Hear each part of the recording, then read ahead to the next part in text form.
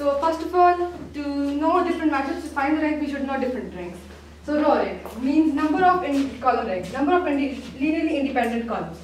For example, एक matrix है इसका आगे मैं इस मेथड में एक्सप्लेन करूँगी उसमें फाइव कॉलम्स हैं अब हम चेक करेंगे कि हर कॉलम किसी दूसरे फोर कॉलम्स में के ऊपर डिपेंड तो नहीं कर रहा फिर जितने कॉलम्स इंडिपेंडेंट होंगे वो उसका कॉलम रैंक होगा secondly row rank number of linearly independent rows एक बात हमें और याद रखनी है in any matrix the row rank must equal to column rank चाहे कि नंबर ऑफ़ रोज और कॉलम्स इक्वल ना हो बट उनका रैंक इक्वल होगा। Third full rank full rank क्या होगा the largest possible rank would be full rank for example in a matrix there are 5 rows 5 columns. So, full rank would be 5 but in a matrix, there are 4 rows and 5 columns. तो फिर full rank क्या होगा? फिर full rank 4 होगा। क्योंकि rank कभी भी number of rows और कॉलम्स किसी ज़्यादा नहीं हो सकता। फोर्थ नंबर पे आ रहा है zero rank Could you please explain the concept of full rank again? Full rank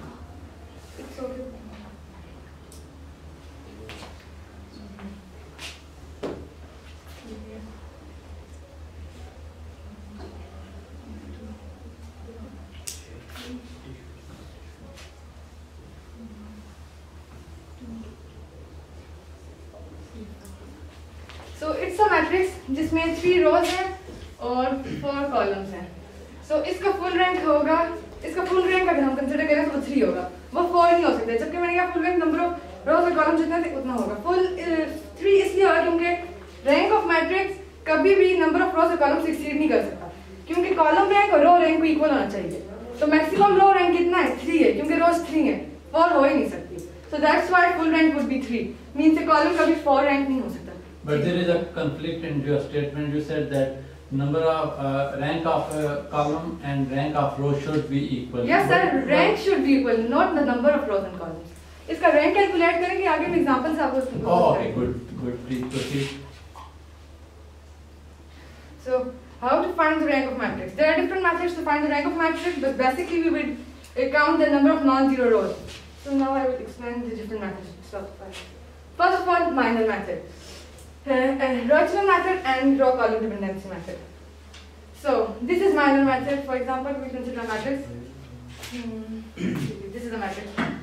Uh, Minor method, हम लोग we will use the minor method for the smaller matrices up to 3 by 3. 3 by 3 से uh, greater के लिए complicated हो जाता है हम लोग उसके दूसरा method use करेंगे इसमें हम लोग uh, if number of uh, if this minor size x is non vanishing ये आगे मैं example explain करा बताऊँगी but is non vanishing so फिर हम लोग कहेंगे all minor is greater than x uh, uh, means x plus 1 would be 0 then rank is x अब इसके के साथ explain करेंगे For example, this is a matrix. Now, for calculating matrix by binary matrix, first of all, you take x is equal to number of rows and columns. क्या है? Three है. तो हम लोग इसको three लेंगे. Now, we will take the determinant of matrix.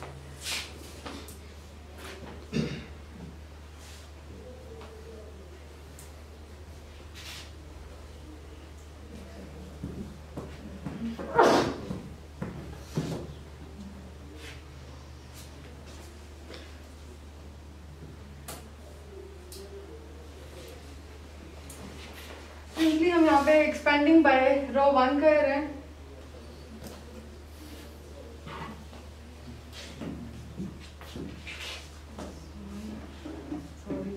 That, that's good. That's good.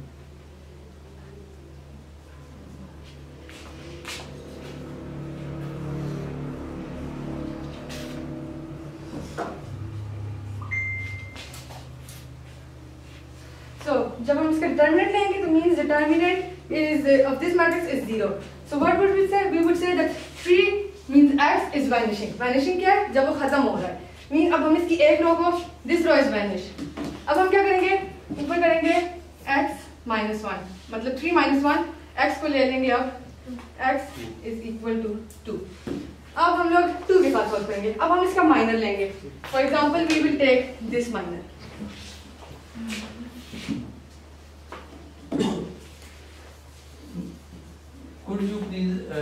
that you eliminated the last row, but you did not eliminate the last column?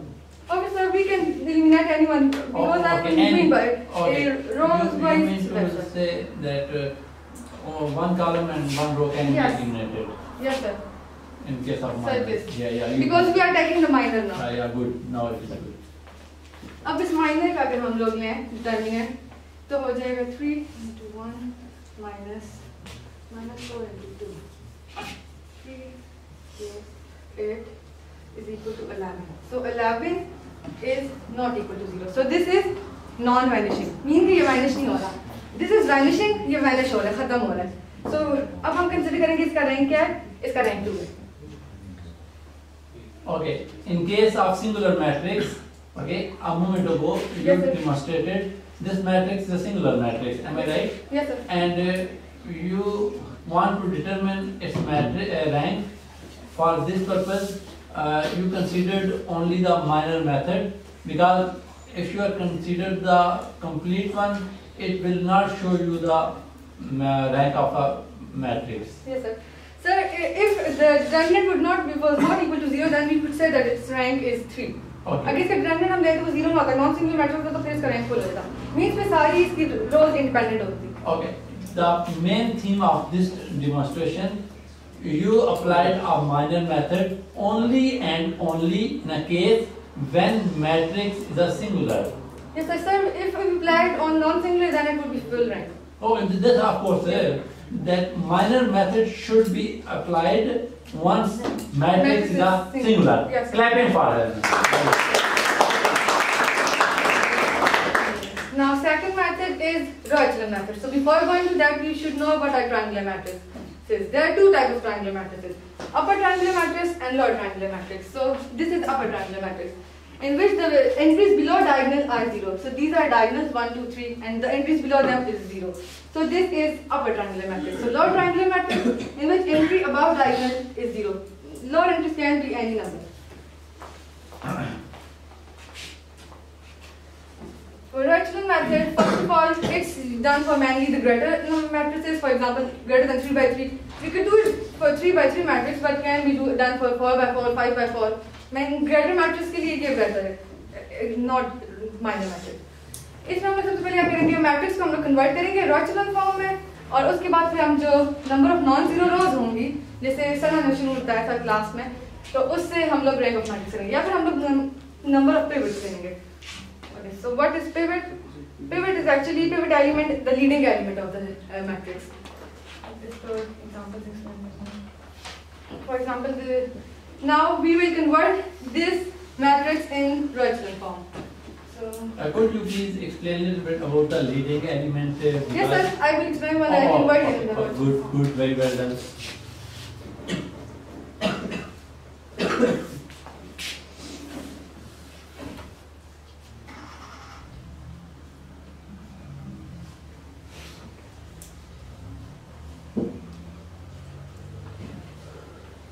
Please note down the important point, okay? I will ask these many things from this uh, demonstration in exam, midterm exam.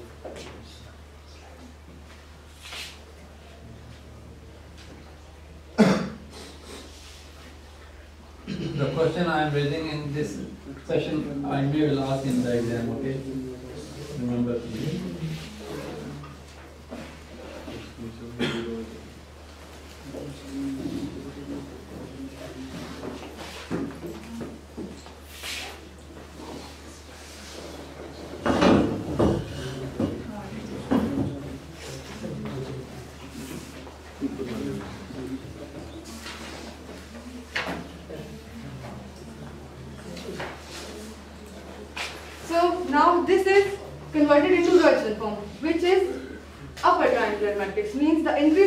entries below the diagonals are zero and the entries above the diagonals are non-zero. So अब इसमें हम लोग दो तरह find करते हैं पहले हम लोग काउंट करेंगे number of non zero rows so this is zero so the number of non-zero rows is one and two so rank of matrix is two अब अगर हम pivot से करेंगे तो pivot is the leading element the first element after zero would be the leading element so in pivot one pivot two pivot so rank of matrix is two Now, third. Third form. could you please go back? Okay, now explain little bit, you know, one more time ठीक sir ठीक है. अब ये matrix है हम लोगों ने इसको ड्रॉ फॉर्म में कन्वर्ट करना है. सबसे पहले हम लोगों ने क्या करना है कि एलिमेंट्स को first row element first column के एलिमेंट्स को ज़ीरो करना होता है. इसके लिए हम लोग क्या करेंगे? आर थ्री में से माइनस करेंगे. थ्री आर वन और आर टू में से माइनस करेंगे. टू आर तो इसके बाद वैल्यू आ जाएगी zero minus one minus two zero minus one minus two means के पहला वाला कॉलम वन नीचे दोनों ज़ीरो हो गए. अब हम लोग थर्ड रो का ज़ीरो करने के क्या करेंगे? R two R three plus R two कर लेंगे उससे क्या होगा? R three would be zero यानी इसकी ये ज़ीरो रो हो जाएगी. नॉन ज़ीरो रो कितनी रह जाएँगी? टू रह जाएँगी. तो फिर इसका रैंक होगा. Okay, brilliant. The theme she want to explain is this: if any single row or any single column, okay, both cases are possible. If either is a complete row becomes zero, all element of a row becomes zero, or all element of a column becomes zero, then you should consider the rank of a matrix according to that. You need to eliminate that. Yes, row. Okay, the rest of the rows So then we will count the rest of the which are not zero. But, but there is one question. In case of column, of course it will affect, but then uh, you will consider count the number of rows or uh, then. So if we are applying column operations, then if one column is zero, then we will count the number of non-zero columns. But I am applying row operations here. Okay, in uh, in case of uh, if one complete column becomes zero, then you will count the number of columns, Yes, sir. non-row uh, zero columns. Yes. Okay, good. For Janet. So now third method is row column dependency. For this method, we will first find the linearly independent rows, then linearly independent columns, or anyone. Then both of the linearly independent number of linearly independent rows and column must be equal, which will give the rank of the matrix. For example, this is a matrix uh, in which it has five columns and three rows. So इसका maximum rank क्या हो सकता है? Three. Exactly क्योंकि five तक पहुँच नहीं सकता क्योंकि कभी भी कॉलम का से ज़्यादा नहीं हो सकता। Now I will first calculate the column rank so we I will check this column is independent of other four और नॉट इसके लिए हम लोग इसके लिए वेक्टर एडिशन करके चेक कर सकते हैं। सबसे पहले देखते हैं किसी पे डिपेंड कर रहा है, किसी पे डिपेंड नहीं कर रहा। सेकेंडली अब C one is independent C two check करेंगे। सी टू भी किसी पे डिपेंड कर रहे हैं नहीं क्योंकि अगर हम लोग इसके साथ कुछ भी इन कॉलम्स में से ऐड करें या सब्ट्रैक्ट करें Bilal, please. Uh, why it doesn't depend on uh, number of columns? It depends, but it matters which Uh, is rank of maximum. matrix. अगर यहाँ पे नंबर ऑफ़ रोज ज़्यादा होती मैंने पहले क्या कहा कि number of rank of row and rank of column must be equal to give the rank row का रैंक मैक्सिमम हो ही थ्री तक तो फिर कॉलम का रैंक भी थ्री होना चाहिए ताकि वो रो के रैंक इक्वल हो। क्योंकि रो का रैंक थ्री से ज़्यादा नहीं हो सकता। Okay my son is asking a question that if number of rows become 4 then maximum rank would be 4 but the number of column become 3 and number of rows 4 then what then rank would be maximum rank would be 3 मैं आपको बताती हूँ। Okay. जैसे x matrix है उसमें 3 रोज है और 2 columns हैं। तो मैक्सिमम रैंक क्या होगा? 2 होगा. थ्री नहीं हो सकता क्योंकि दोनों का रैंक इक्वल होना चाहिए। कॉलम का मैक्सिमम रैंक हो रहा है टू है वहाँ पे। What's the logic behind it?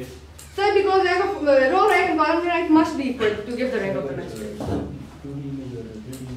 sir because the linearly independent rows and linearly independent column must be equal Okay, he wants to ask some question. Yes, please raise your अगर हम एक matrix लेते हैं वो to D में तो उसको हम अगर किस तरह हम उसको रैंकिंग में चेंजेस लाएँगे थ्री डी में जो सो ये 2D नहीं है ना x axis y axis 2D नहीं होता है तो फिर थ्री डी फिर वो फिर हम लोग उतने देखेंगे ना फिर 3D में हम लोग रैंक रोज कॉलम उसमें फिर इसके पीछे इस तरह आ जाएगा उसका भी फिर रैंक कैलकुलेट करेंगे but for here I am talking about 3D जिसमें 2D सो इसमें हम लोग नंबर रैंक ऑफ़ कॉलम और रो चेक करेंगे Okay, I think advanced level question. I'm so sorry. Yes, Can I please. answer? Yes, please. Yes, please. Actually, we are checking the lesser dimension. For example अगर हम इस class के example लें तो रोज कितनी हमारे पास five है? कॉलम हमारे पास चेक करें तो एट है। तो हमारे पास डायमेंशन जो अ, क्या उसे कह सकते हैं? जो रैंक ऑफ़ मैट्रिक्स है वो कभी भी फाइव से इंक्रीज नहीं कर सकता वो रेंज से बाहर आ जाता है। फिर इसलिए हमारे पास जो है ये आ जाता है कि जो लेसर डायमेंशन होता है उसके इक्वल अब सेकंड प्रॉब्लम को question. Question, there is a question. जिस तरह अब ये इमेज जो हमने कैमरा से ली है उसमें हम अपनी फोटोशॉप लगाएँगे कोई उसमें एडवांस जैसे चेंजेस करेंगे तो वो फिर उसमें चेंजेस नहीं आएँगी रैंकिंग में आएँगे ना रैंकिंग में चेंजेस आएँगे वो फर्दर एप्लीकेशन में एक्सप्लेन करेंगे एप्लीकेशंस में एक्सप्लेन हो जाएगा Oh, okay, she will explain. Did you, Naima, some question? Verify applications? Okay, thank you, please now पहले सेकंड कॉलम को देखेंगे सेकंड कॉलम में हम लोग कुछ तो चेंज आएगी ऐड या सब्ट्रैक्ट करेंगे so this is also independent this is independent this is independent अब थर्ड कॉलम को चेक करें थर्ड कॉलम में क्या है third column is dependent on first column because multiplying first column by 2 would give us the third column so this is dependent now fourth column fourth column is also independent and fifth column fifth column dependent and dependent है dependent है किस पे first column पे so number of independent columns कितने होंगे? Three first column भी तो dependent है। फ़र्स्ट कॉलम नहीं डिपेंडेंट थर्ड और फिफ्थ पे इनको डिवाइड करें तो डिवाइड करके नहीं हम स्केलर मल्टीप्लाई करके वेक्टर एडिशन करते होते हैं। फिर ए, फिर ये वाला हम इसको कंसीडर करें फिर इसको इंडिपेंडेंट करना पड़ेगा। फिर डिवाइड करके उससे मल्टीप्लाई करेंगे। ये इसको मल्टीप्लाई करके ये तो My नहीं son is asking very good question. It means that you are considering the number of possibilities. Yes sir Okay, choices are, it may uh, you can uh, it's not important that only particular column is dependent or independent. It can be varied. Yes sir. Sir similarly we can check for the role because अगर हम लोग are to कहेंगे मतलब are one के लिए to are to करते हैं तो ज़ीरो हो जाएगा बट हमें पूरी रोज ज़ीरो करनी है वो नहीं हो तो ना मतलब रो रैंक भी हम लोग किसी भी रोज से कोई भी दूसरी रोज पे डिपेंड नहीं करेंगे जिसको ज़ीरो कर सके। तो दैट्स वाई कॉलम रैंक और रो रैंक दोनों इज़ इक्वल टू थ्री है सो इस मैट्रिक्स का rank Now for further, I would like to go on Okay, good. Yeah, I think.